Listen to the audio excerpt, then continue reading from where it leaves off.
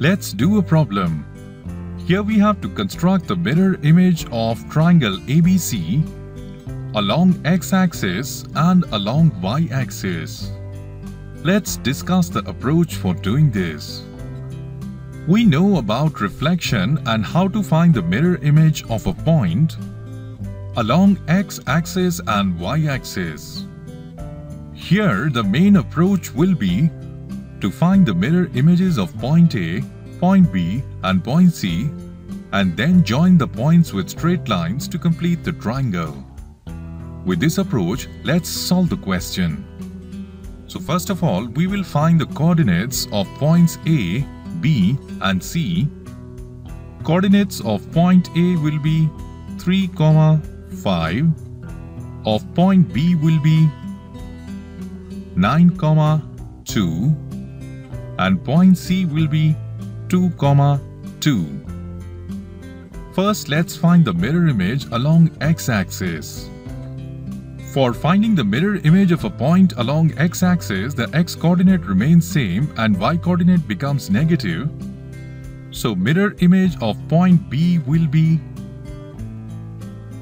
B dash 9 comma minus 2.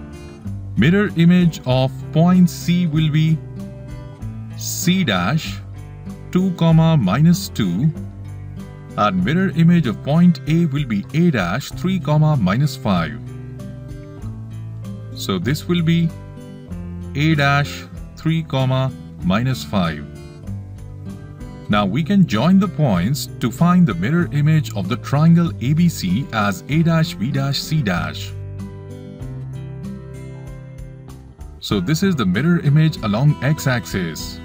Now let's find the mirror image of the triangle along y-axis and for finding the image along y-axis, the y-coordinate remains same and x-coordinate becomes negative of itself. So mirror image of point C, 2, 2 will be minus 2, comma 2. So this point we can call C double dash minus 2, comma 2.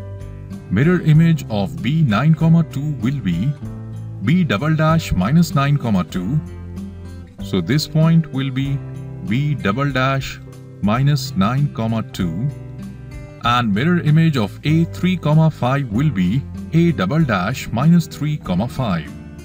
So this is our point a double dash minus 3 5. Now we can join the points with a straight line. So A double dash B double dash C double dash is the mirror image along the y-axis. The important point here is that mirror image of a polygon can be constructed by finding reflection of its vertices and joining them.